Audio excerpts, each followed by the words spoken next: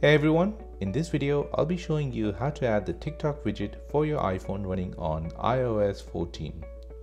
Please check out my other videos from my iOS 14 series where I have many other iPhone tutorials. You can click on the link above to see that playlist. First of all, let's make sure you have the TikTok app installed on your iPhone and make sure it's up to date. Now long press on an empty space on the home screen Then tap on the plus sign.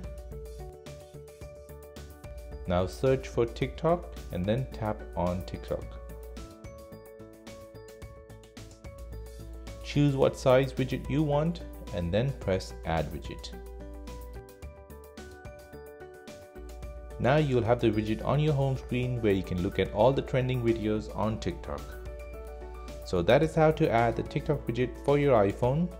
If you have any questions, please leave a comment down below and I'll get back to you as soon as I can.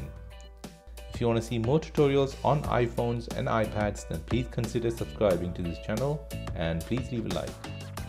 Thank you for watching and I'll see you in the next one.